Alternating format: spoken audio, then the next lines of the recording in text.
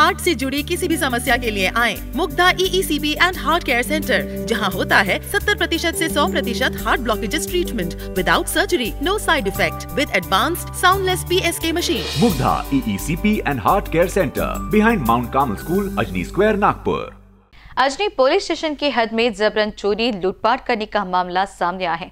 इस मामले में आरोपियों ने फिरियादी अजय गौतम सोमकुवर की रैकी पर फिर उसे लूटा है। घटना के बाद पुलिस ने आरोपियों को 24 घंटे के भीतर गिरफ़्तार किया है।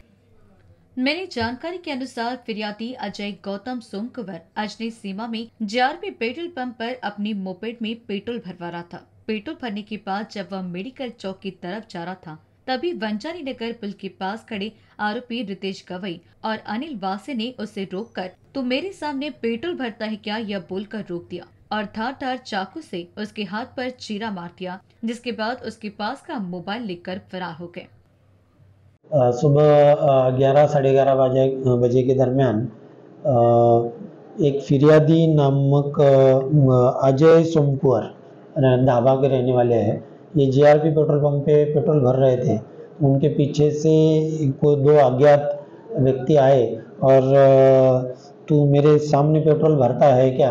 ऐसे बोल के उनको गाली गलौज किया और बाद में फिरियादी सामने निकल गए तो उनका पीछा करके उनको रुकवा के उनको चाकू का चाकू दिखाकर उनकी जेब में से एक सात हज़ार रुपये कीमत का मोबाइल उन्होंने जबरी से लेके चाकू से थोड़ा उनको जख्मी करके वो भाग गए।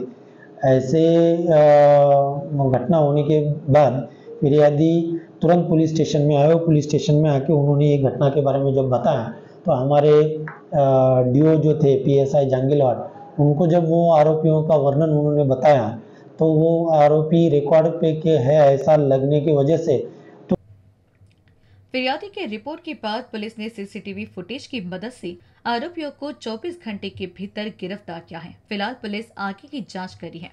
कैमरा पर्सन अखिलेश भारद्वाज के साथ प्रकाश शंकलवार की रिपोर्ट।